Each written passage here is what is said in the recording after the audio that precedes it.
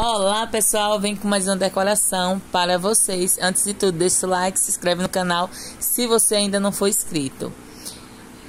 Tingi esse chantilly com rosa pink bem clarinho. E agora eu vou usar o pó pink, rosa pink. Esse pó que eu tô usando é o rosa pink. Agora eu vou usar o glitter rosa cereja. Só nessa parte de cima. E aí vou colocando meu glitter. Colocando, colocando bem muito glitter aí na parte de cima. Eu quero deixar aquele charme bem brilhoso, né, pessoal? Fica lindo. E agora eu vou fazer uma roseta aí no meu rodapé do bolo.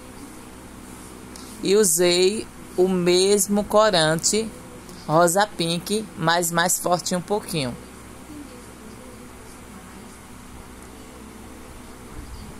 E agora eu vou usar meu lindo topo de rosas de papel.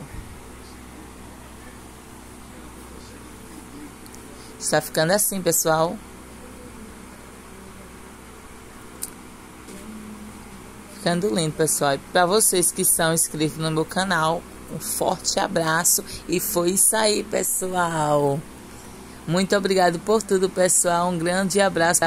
Fiquem todos com Deus, pessoal. E foi isso aí o resultado final. Tchau, tchau, pessoal. Até o próximo vídeo. Tchau.